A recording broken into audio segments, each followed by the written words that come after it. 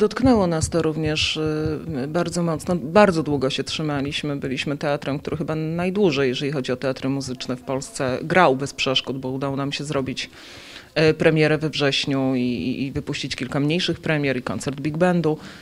Y, Ale i nas niestety dopadły te zakażenia. Dla mnie, jako dyrektora teatru, najważniejsze jest oczywiście zdrowie, zdrowie widzów, zdrowie pracowników, zdrowie naszego zespołu. Jest nam trudno, bo jesteśmy w takiej sytuacji, że bardzo ciężko jest nam cokolwiek planować. Planujemy tak naprawdę w bardzo krótkim okresie czasu, y, na, na kilka dni do przodu, licząc na to, że to się, że to się uda i, i wszyscy będą zdrowi.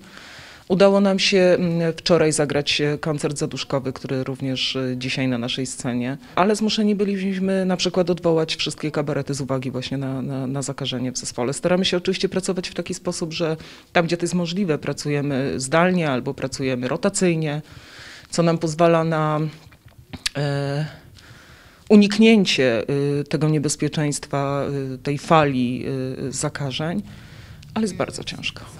Kultura zawsze była bardzo ważna. To jest y, dla nas też takie zadanie teraz, żeby w tym y, trudnym, pandemicznym czasie y, nie opuścić naszych widzów. Wtedy, kiedy nie możemy się z nimi spotykać y, na widowni, spotykamy się z nimi w sieci, jesteśmy ciągle y, aktywni, już zupełnie inaczej myślimy niż kiedyś o tych wydarzeniach online'owych, o tym wszystkim, co możemy umieścić w sieci. To jest taki znak czasu i taka potrzeba czasu, więc to robimy.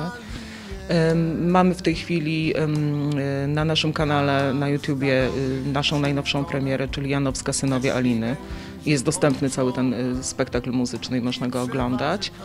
E, I też w ten sposób teraz myślimy o nowych premierach czy o nowych y, przedsięwzięciach, między innymi właśnie o, o y, wczorajszym koncercie, że w momencie, kiedy pokazujemy go na scenie i mamy taką możliwość, jednocześnie dokonujemy rejestracji właśnie po to, żeby móc tym widzom, którzy nie mogą przyjść, bo to jest 25% wyłącznie na, na widowni, móc ten koncert w sieci pokazać. Bardzo wielu widzów mimo wszystko się obawia wyjść z domu i to jest zrozumiałe, dlatego że e, sytuacja y, epidemiczna zrobiła się bardzo trudna i bardzo niebezpieczna.